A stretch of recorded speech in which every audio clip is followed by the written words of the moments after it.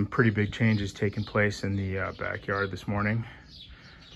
First and foremost, the old trusty Weber Genesis three burner grill is being replaced. What we have to do the job is the uh, the Weber Genesis S435 four burner grill. And this is a uh, this is a Costco purchase, which has the benefit of coming with a couple accessories, the uh, Weber Connect Smart Grilling Hub, as well as the uh, premium grill cover. Two pricey items, but when you buy from Costco, you get a better deal and not only is the overall price better, but you get those bonuses. So this uh, this bad boy, a little bit of a project to put together, but I think it'll be well worth it.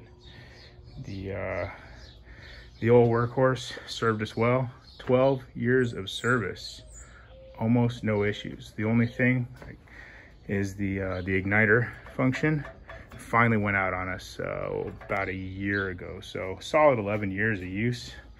Still plenty of plenty of life left in it. If we uh, rebuild a few things, the wheels are shot and the igniter needs to be replaced. So uh, this thing is not going away. It's just going somewhere else.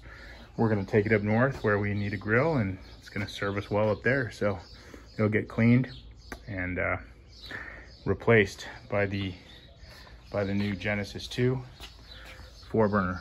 So that's uh, that's exciting. One other change, kind of a big one. We finally took out the uh, the gate around the pool. So backyard looks actually pretty big now. Uh, spent about an hour this morning just pulling out all the fence panels. As you can see, it definitely opens opens up the uh, the yard. So thanks for watching and uh, stay tuned for the unboxing and assembly of the Weber Genesis 2.